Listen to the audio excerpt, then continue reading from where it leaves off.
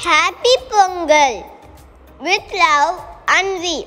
Like, comment, and share my video. And don't forget to subscribe my channel Fun with Anvi.